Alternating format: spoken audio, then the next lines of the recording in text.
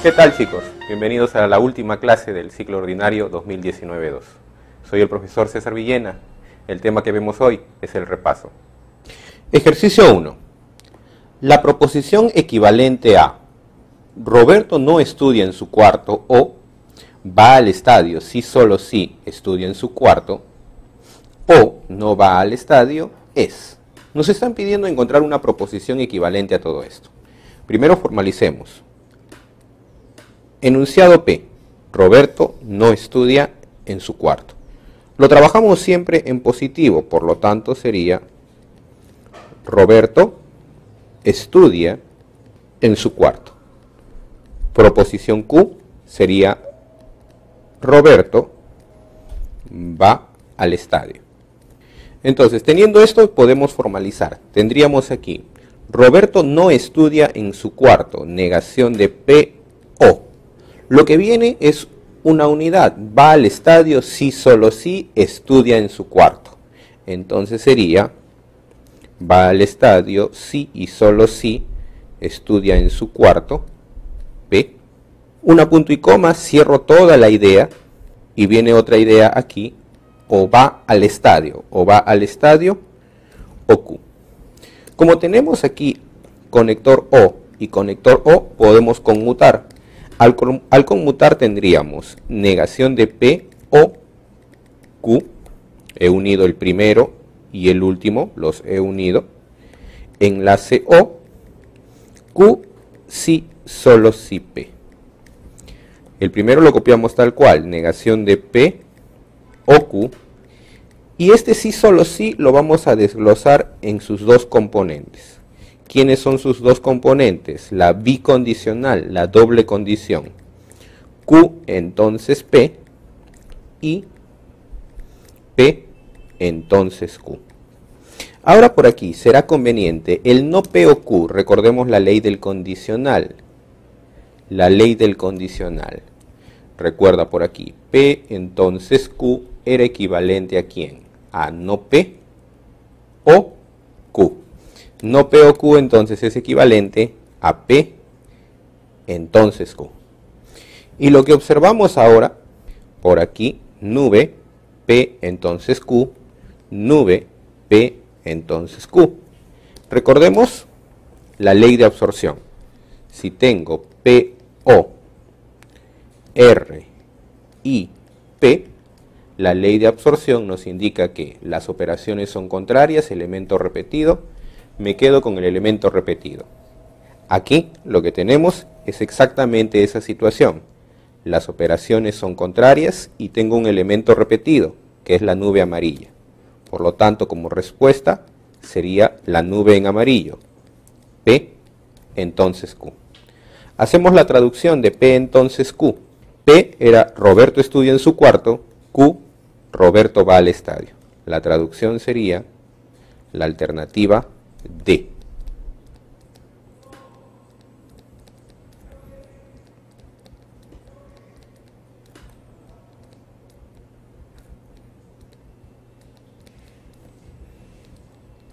Ejercicio 2. Sonia piensa repartir cierta cantidad de mangos entre todos sus sobrinos. Luego se da cuenta que si les da 14 mangos a cada uno, le sobran 4. Pero si hubiese tenido 12 más, entonces cada uno hubiese recibido 2 más. Y no sobraría ni faltaría. Determine la diferencia positiva entre el número de mangos y sobrinos que tiene Sonia. Veamos por aquí. M, número de mangos. Vamos a llamar H al número de sobrinos piensa repartir cierta cantidad de mangos entre todos sus sobrinos. Si les da 14 a cada uno, sería 14 multiplicado por el número de sobrinos, 14 por h, le sobraron 4 mangos más 4. Eso sería el número de mangos. Pero el número de mangos dice, si hubiese tenido 12 eh, más, es decir, si hubieran sido mangos más 12, hubiese podido cada sobrino recibir dos más, es decir, hubieran recibido 16. 16 multiplicado por el número de sobrinos. Lo único que hacemos aquí es reemplazar. Sería 14h más 4 más 12 igual a 16H. Pasamos a restar 2H igual a 16, con lo que tendríamos que el número de sobrinos sería 8. Reemplazamos el valor de H y tenemos entonces que el número de mangos sería 14 por 8 más 4, 116. Lo que nos pide determine la diferencia positiva entre el número de mangos y sobrinos. La diferencia de estas dos cantidades sería 108. Para el ejercicio 3, halle la suma de las cifras del menor número de tres cifras divisible por 15 que tenga 20 divisores positivos. Tenemos por aquí nuestro número de tres cifras, ABC. Si es divisible por 15 debe tener al factor 3 y debe tener al factor 5. Aprovecho y de una vez lo voy expresando en forma canónica, un exponente A, un exponente B. Si tiene 20 divisores positivos, por aquí mejor, cantidad de divisores 20, esto puede provenir de exponente más 1, que sería 4 más 1, 5, por exponente más 1, 3 más 1, 4. La otra opción que tendríamos, cantidad de divisores 20, que provenga de 4 más 1, 5, por 1 más 1, 2, por 1 más 1, 2. Es decir, como 5 por 2 por 2. Y aquí como 5 por 4. Si consideramos la primera opción, exponente 4 y exponente 3, tendríamos 3 a la cuarta por 5 al cubo. 5 al cubo 125, 3 a la cuarta 81. 81 por 125 me excedí de las tres cifras, por lo tanto no es posible. Si probamos al revés, 3 al cubo 27, 5 a la cuarta 625. Nuevamente excedo cantidad de cifras, no es posible. Entonces la primera opción no es posible. Vayamos con la segunda. Si tenemos aquí 1, 2, 3 exponentes, debo tener 3 bases. Por lo tanto, pondré uno más. Voy a considerarlo por un x elevado a la c. Ahora, si quiero que sea el menor número, me conviene que este factor sea el más pequeño. El factor pequeño posible y número primo sería 2. Entonces tendríamos 3 a la a por 5 a la b por 2 a la c. Ahora, debemos escoger convenientemente los valores de tal forma que se haga el menor número. ¿Qué será conveniente? Tener un 5 a la cuarta o un 2 a la cuarta. Para que se haga menor es conveniente tener 2 a la cuarta. Entonces, el menor, el menor número ABC tendría que ser 2 a la cuarta por 3 a la 1 por 5 a la 1. Y eso resulta ser cuánto? Eso resulta ser 240. Lo que nos piden de ello es la suma de cifras. La suma de cifras ya sería bastante rápido. 6. Alternativa A. Ejercicio 5. En el anterior examen de admisión de la Universidad Nacional Mayor de San Marcos, el profesor encargado del aula se dio cuenta que un sexto de los estudiantes postuló a humanidades, un noveno postuló a ingeniería y un doceavo a ciencias de la salud. ¿Cuántos estudiantes no postulan a ingeniería si en el aula solo puede haber entre 130 y 150 postulantes? Veamos, ¿qué pasa con la cantidad de postulantes? La cantidad de postulantes me indica aquí se dio cuenta que un sexto de los estudiantes postuló a medicina. Si le voy a sacar sexta, en la cantidad de postulantes debe ser un múltiplo de 6. De igual manera, si me dice un noveno postuló a ingeniería, la cantidad de postulantes debe ser un múltiplo de 9. Y por último, un doceavo a ciencias de la salud, la cantidad de postulantes tiene que ser un múltiplo de 12. Ser un múltiplo de 6, un múltiplo de 9 y un múltiplo de 12 implica que la cantidad de postulantes sea un múltiplo del mínimo como un múltiplo de 6, 9 y 12. Entonces, la cantidad de postulantes será un múltiplo de 36. Si es un múltiplo de 36, es un 36K. Pero esa cantidad de postulantes, 36K, tiene que estar entre 130 y 150. El valor de aquí es inmediato para acá. Si K fuera 5 me excedí. Si K fuera 3 no llego a superar a 130. Por lo tanto el valor de K tendría que ser 4. 36 por 4. Ahora, lo que nos piden determinar es los que no postulan a ingeniería. ¿Cuántos estudiantes no postulan a ingeniería? Por aquí. No ingeniería. Los que postulan a ingeniería son cuántos? Un noveno postuló a ingeniería. Un noveno postula a ingeniería, uno de nueve. Los que no postulan a ingeniería tendrían que ser ocho novenos. 8 de 9 del total de alumnos. El total de alumnos era 36K, de 36 por 4. 8 novenos de 36 por 4. Lo único que nos queda es operar y resulta cuánto? Resulta 128. Por lo tanto tenemos la alternativa D. Ejercicio 8. Rodolfo decide realizar el cumpleaños de su menor hijo Pablo y para ello compró, entre otras cosas, 294 caramelos, 210 frunas y 126 chocolates, para preparar sorpresas para los amiguitos de Pablo.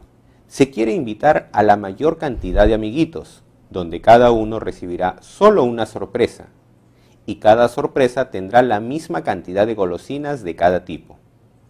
Indique la suma de las cantidades de caramelos, frunas y chocolates que recibe cada invitado. Cada sorpresa debe tener la misma cantidad de golosinas de cada tipo. Es decir, esa cantidad de golosinas que va a tener tiene que poder eh, dividir a 294, dividir a 210 y dividir a 126. Supongamos que fuese 7. Eh, 7 divide a 210. De 210 frunas podré sacar cantidades que son de 7 en 7, pero sin embargo no podré sacarlo de 126. Entonces, esa cantidad tiene que ser un divisor común de quién? De 194, de 210 y de 126. Por lo tanto, calculamos aquí, lo que podemos calcular es el máximo común divisor. Máximo común divisor de 294, de 210 y de 126. Ese máximo común divisor resulta ser 42. Ahora, ¿cuántos caramelos tendrá? Cada sorpresa. Ah, número de caramelos. Entonces, por aquí, el número de caramelos sería bastante rápido de calcular. 294 entre 42. 7 el número de frunas 210 entre 42, 5. Y el número de chocolates 126 entre 42, 3. Entonces, la cantidad de golosinas que podremos colocar será cuánto? Será 15. Alternativa B. Ejercicio 10. Las medidas de un cuadro decorativo son cantidades que se diferencian en 144 centímetros. Veamos por aquí cómo sería un bosquejo del cuadro. Un cuadro decorativo. La diferencia de... Se diferencian sus cantidades, se diferencian en 144. Si a este lado lo llamo A y a este lado lo llamo B, la diferencia de A menos B sería 144. Su razón geométrica es de 13 a 5. Obviamente A es mayor, por lo tanto A es AB, como 13 es a 5. Y ante esta situación ya sabemos que debemos colocar constante y constante. Reemplazamos en la diferencia, sería 13K menos 5K, 8K igual a 144. Podemos fácilmente obtener el valor de K, 18. Ahora, lo que nos pide determinar es halle la mayor longitud del lado en centímetros del cuadro decorativo. La mayor longitud es A. A es 13 por K, que en este caso sería 13 por 18. Lo único que nos queda es multiplicar ello y este resultado es 234. Alternativa D. Ejercicio 11. Las edades en años de Ángel y Ricardo hace 2x años era como 4 es a 3 y dentro de 3x años será como 5 es a 4. ¿Cuál es la razón actual de dichas edades?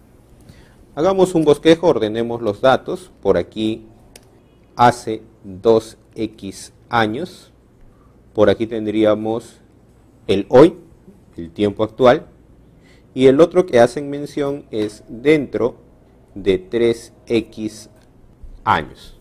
Los personajes, Ángel y Ricardo. Hace, X, hace 2X años sus edades eran como 4 a 3, es decir, 4K y 3K. Hoy serán 4K más 2X, pues han pasado 2X años, y 3K más 2X.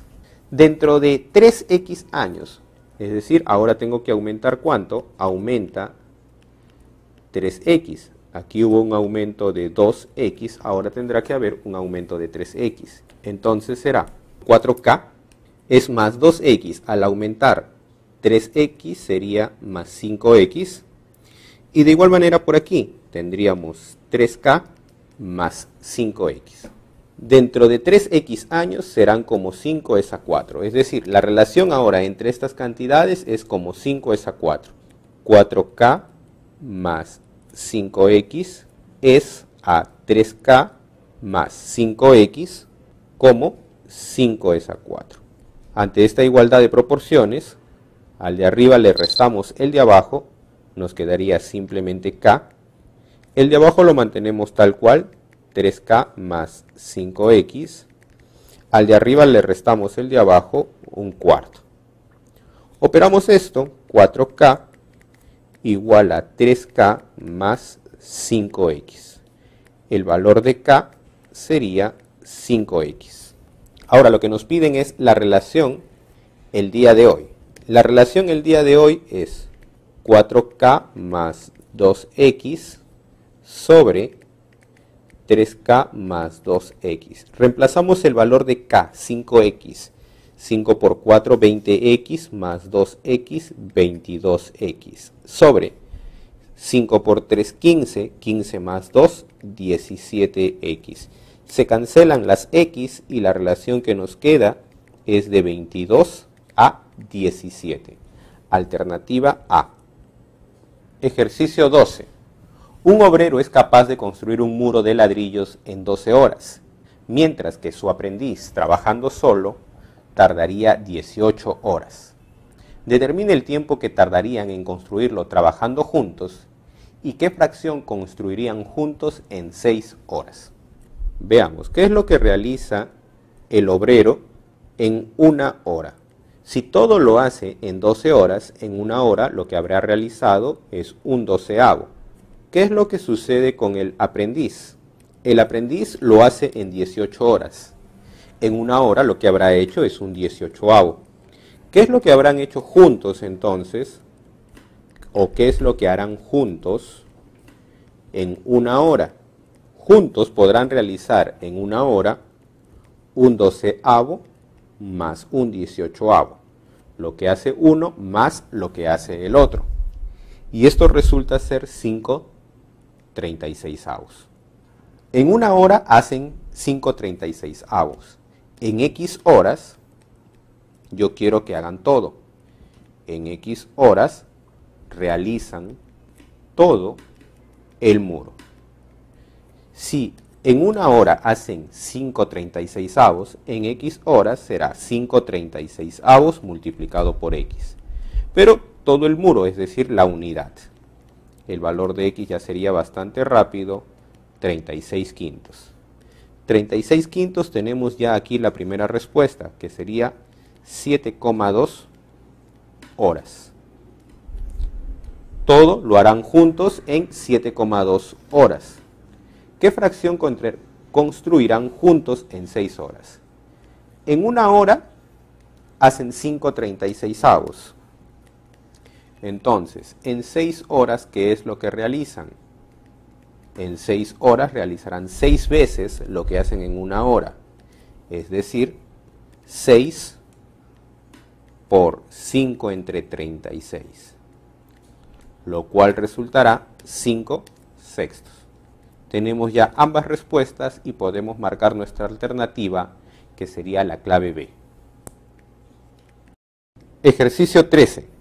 Carolina se da cuenta que si deposita cierta cantidad de dinero en una financiera, luego de 8 años este se triplicará pero ella solo decide depositar 2.348 durante tres años, a la misma tasa que le están ofreciendo. Halle el interés obtenido por Carolina. A ver, primero tenemos un tiempo de 8 años. Cuando el tiempo es 8 años, se triplica, te dice. El capital se triplica. Cierta cantidad de dinero, el capital se triplica. Si se triplica, está haciendo referencia a que el monto es tres veces el capital. Pero ya sabemos que monto es capital más interés. Capital más interés es tres veces el capital. Aquí lo que tenemos es que el interés es dos veces el capital. Y para calcular el interés, lo que hacemos es multiplicar el capital por la tasa de interés por el tiempo, que en este caso es 8 años. Aquí simplificamos los valores de C y de C, mitad 1, mitad 4, entonces tendríamos que R resultaría 100 entre 4. 100 entre 4, 25. Por lo tanto, la tasa sería de 25%. Ahora, ¿qué sucede cuando el tiempo es 3 años? Tenemos ahora por aquí otra situación cuando el tiempo es 3 años. Ella deposita 2.348. Entonces, el interés que obtendrá será capital 2.348 multiplicado por la tasa de interés, que es 25, ya sabemos, por ciento, por el tiempo 3. Lo único que nos queda es operar ello y resulta 1.761 con lo cual tenemos la alternativa D. Ejercicio 14. Roberto y Juan visitaron la taberna Quirocolo. Por aniversario, esta ofrece a sus visitantes venta de pisco acholado, puro y aromático, a un precio especial. Roberto llevó algunas botellas de pisco puro, a 40 soles el litro, y Juan llevó botellas de pisco acholado, a 30 soles el litro. Al llegar ambos a casa, mezclaron los piscos en un tonel, notando que lo que trajo Robert cubre la mitad de dicho tonel, y luego Juan completa con lo que trajo hasta los cuatro quintos de su capacidad. Si solo consideran lo que trajeron juntos, ¿cuál será el precio de esta mezcla? A ver, veamos, ¿qué podemos hacer aquí? Cuando nos preguntan aquí cuál será el precio de esta mezcla, será el, precio del litro. ¿sí? El precio del litro de esa mezcla, ¿no? Porque toda esa mezcla lo único que tendríamos que sumar es todo el dinero gastado. No tendría sentido el ejercicio. Veamos entonces. Al tonel démosle una capacidad que de la cual se pueda sacar quinta. Una, una cantidad a la cual se pueda sacar quinta tendría que ser la más pequeña posible. Ah, no, quinta y al mismo tiempo mitad, ¿no? Quinta y al mismo tiempo mitad. Vamos a dar que la capacidad sea un 10 alfa. Que la capacidad sea un 10 alfa. Ahora dice, notando que lo que trajo Robert cubre la mitad de dicho tonel. Robert cubre la mitad de dicho tonel, es decir, 5 alfa. Esto es lo que trae Robert. Juan completa con lo que trajo hasta los cuatro quintos, cuatro quintos de su capacidad, hasta llegar a los cuatro quintos. Los cuatro quintos de 10 alfa serían 8 alfa. Hasta llegar a los 8 alfa, eso quiere decir que solamente está poniendo 3 alfa. Esto es lo de Juan. Lo que Robert compra, Robert llevó algunas botellas de pisco a 40 litros. Lo que Robert compra está a 40 litros. Y lo que Juan compra está a 30 litros. ¿Cómo calculamos el precio medio en esta situación? El procedimiento sería bastante sencillo. Juan ha comprado eh, de un pisco de 30 soles el litro y la cantidad que ha comprado es 3 alfa. Entonces sería 3 alfa 30 veces. Robert ha comprado 5 alfa litros, pero cada litro cuesta 40 soles. Por lo tanto, el gasto sería 5 alfa multiplicado por 40. Pero la cantidad de litros que en total han comprado es 5 alfa más 3 alfa, 8 alfa. Tenemos todo listo para calcular el precio medio. Este precio medio entonces sería 290 dividido entre 8. Lo único que nos queda es dividir y esto resulta 36,5. Tenemos entonces la alternativa C. Ejercicio 15. Las edades de seis hermanos se encuentran en progresión aritmética cuya suma vale 120 si cuando nació el menor, el mayor tenía 20 años, ¿hace cuántos años la edad del tercero fue el triple de la edad del menor? A ver, pongamos por aquí las edades. Son 6. 1, 2, 3, 4, 5, 6. Están en progresión aritmética. Yo voy a suponer por aquí em, que este tiene A. Una progresión de razón R, A más R, a más 2R, A más 3R. Por aquí tendríamos, si voy retrocediendo, A menos R, A menos 2R. Por aquí tenemos al primer hijo, al segundo hijo, al tercero, al cuarto, al quinto y al sexto. La suma de todos ellos, ¿cuánto sería la suma de todos ellos? Si sumamos, nos daría 6R, por aquí menos 2 con más 2, menos R con más R se cancela, entonces tendríamos 6A más 3R, 120. Podemos simplificar y tendríamos 2A más R sacando tercia, 40. Ahora, cuando nació el menor, ¿quién es el menor? El sexto hermano. ¿sí? El mayor tenía 20 años. Es decir, la diferencia entre el primero y el sexto, la diferencia entre el mayor y el menor tiene que ser 20. Esa diferencia, ¿cuánto nos da aquí? Sería A más 3R menos A menos 2R. Esa diferencia es 20. Entonces tendríamos, las A se eliminan, negativo y negativo, tendríamos 5R igual a 20. Rápidamente obtenemos que el valor de R sería 4. Reemplazamos el valor de R, 4, y tendríamos que 2A es 36, por lo tanto el valor de A es 18. ¿Hace cuántos años la edad del tercero? ¿El tercero cuánto tiene? El tercero tiene 18 más R, es decir, 22. Supongamos ahora hace X años. Hace X años tendría 22 menos X. Pero hace X años su edad era el triple de la edad del menor. ¿El menor cuánto tiene? 18 menos 2R, 18 menos 8, 10. Hace X años, 10 menos X. Por lo tanto aquí, 22 menos X igual a 30 menos 3X. 2X igual a 8, X igual a 4. Tenemos entonces la alternativa B. Ejercicio 16. La media aritmética de un conjunto de números aumenta en dos unidades cuando se le suma 7 unidades a cada uno de los 18 primeros números.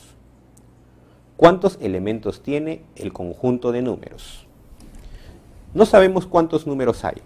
Entonces vamos aquí a mencionarlo de la siguiente manera. A1 más A2 más A3 y continuamos hasta llegar a la sub n. Hay n números, entonces el promedio, la media aritmética, lo dividimos entre n y como no lo conocemos lo llamamos x bar. Ahora, sabemos que, eh, esa media aumenta en dos unidades, es decir, x barra más 2, ¿sí? cuando se le suma 7 unidades a cada uno de los 18 primeros. A ver, se les va a sumar 18, perdón, 7 unidades a los 18 primeros números. Mira lo que vamos a hacer. A1 más cuánto? Más 7. A2 más 7. A3 más 7. Así hasta llegar a quién? Hasta completar los 18 primeros números. Es decir, por aquí tendríamos cuánto? 18 veces esa suma de 7. Y en los otros no, así que la suma continúa hasta llegar a la n. No se aumentó la cantidad de números, por lo tanto siguen habiendo n. Ahora, esta situación la vamos a desglosar por aquí, esta parte que ya la conocemos, y esta otra parte que podemos calcularlo.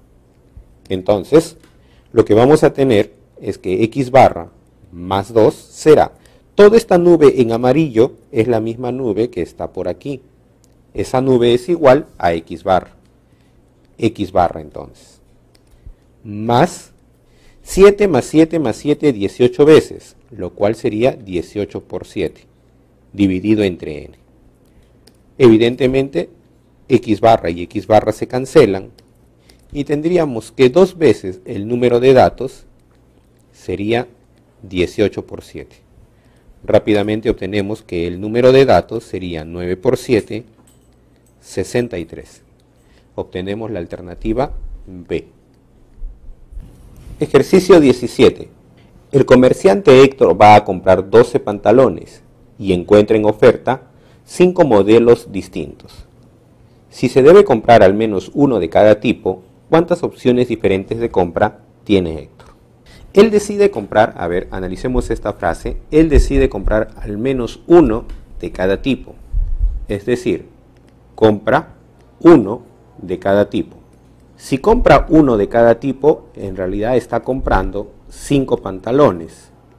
Si compra cinco pantalones, le falta comprar, le falta comprar siete pantalones para poder completar los 12. Falta comprar siete pantalones. Ahora, él va a tener que comprar 7, pero dispone de 5 modelos diferentes. Hay en oferta 5 modelos diferentes. Él podría comprar los 7 pantalones que le falta del modelo A. O podría comprar los 7 pantalones que le falta del modelo B.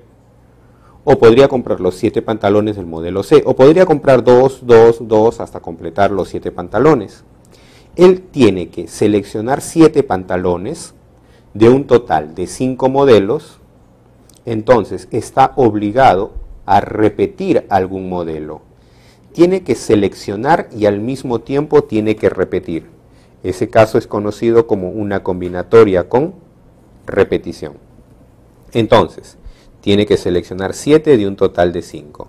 Ya sabemos cómo trabajar la combinatoria con repetición. Lo llevamos a una combinatoria clásica. 7 por aquí le sumamos el subíndice y le restamos 1. Esto resultaría ser una combinatoria de 11 en 7. ¿Cómo resolvemos la combinatoria de 11 en 7? La manera formal, 11 factorial dividido 7 factorial diferencia 4 factorial. Esto sería quién? 11 por 10 por 9 por 8 por 7 factorial, se cancela. ¿Quién nos queda en el denominador? En el denominador nos queda 4 factorial, 4 por 3 por 2 por 1. El resto solo son operaciones. Operamos esto y nos resultaría, a ver, 4, 2, 8 se cancela, 9 entre 3, 3 por 11, 33 por 10, 330 entonces puede obtener 330 opciones diferentes de compra. Alternativa C. Ejercicio 18. Carlos trabaja en una carpintería de madera y melamine. Él está encargado de recoger los materiales sobrantes y reponer los faltantes. Si al momento de tomar los tornillos él se da cuenta que hay 20 en total, y de ellos cuatro están quebrados, ¿cuál es la probabilidad de extraer dos tornillos uno por uno y sin reposición de tal manera que ninguno esté quebrado? Obviamente sin observar, ¿no? Obviamente que cuando hace las extracciones las hace sin observar. Eh, si observa las extracciones no tendría ningún sentido las probabilidades. ¿no? Entonces habría que tener en cuenta eso. Él eh, extrae uno por uno los dos tornillos y sin observar. Entonces, ¿cómo sería la probabilidad de extraer dos buenos? Nos dice. Si ninguno está quebrado, la probabilidad de que los dos estén en buen estado. La probabilidad de que los dos estén en buen estado son sucesos independientes, uno por uno. Entonces, hay 16, en la primera condición, hay 16 en buen estado. Casos favorables, 16. 16 de un total de 20.